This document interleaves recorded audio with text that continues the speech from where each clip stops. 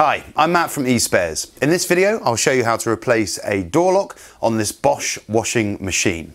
If your washing machine uh, lights up correctly but doesn't start a program, or the door is stuck at the end of a cycle, or it shows an error code like this,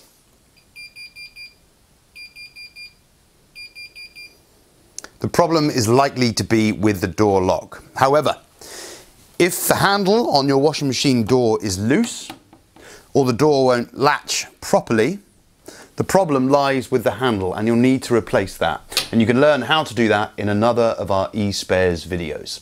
Now safety first, always disconnect an appliance before carrying out any work.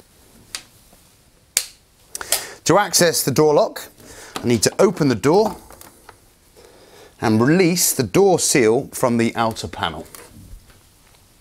Now there is a sprung retaining band that goes all the way around the door sill holding it in place. All you need to do is locate the spring. I can see it's near the door hinge here.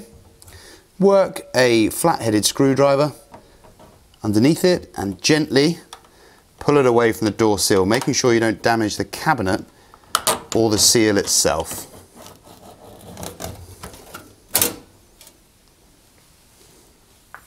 You can then push the door seal inside the door.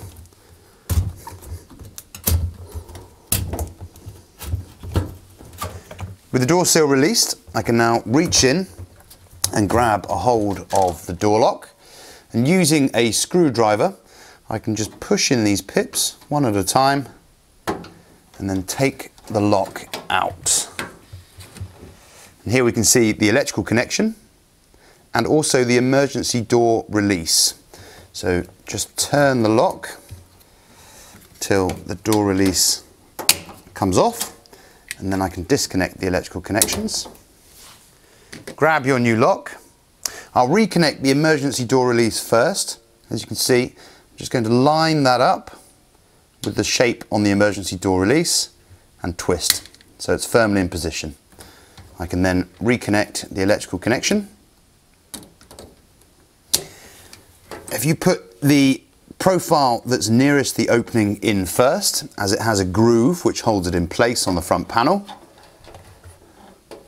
like so, then push it towards the front panel and make sure the pips go back into their holes.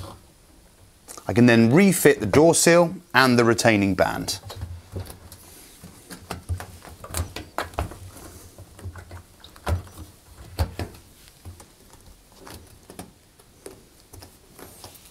If you are having trouble getting the door seal on correctly, you can use a bit of washing up liquid and work it round the area of the door seal that comes in contact with the front panel, just so it lubricates it, making it easier to slip on.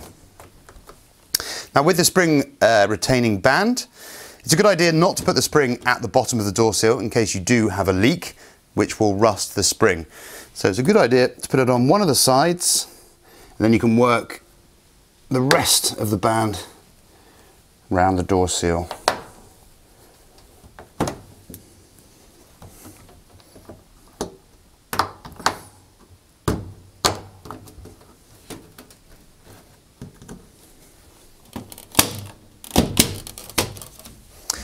So there we have it, one door lock replaced on this Bosch washing machine. Remember, spares and accessories for all the appliances around your home can be found on the eSpares website. Thanks for watching.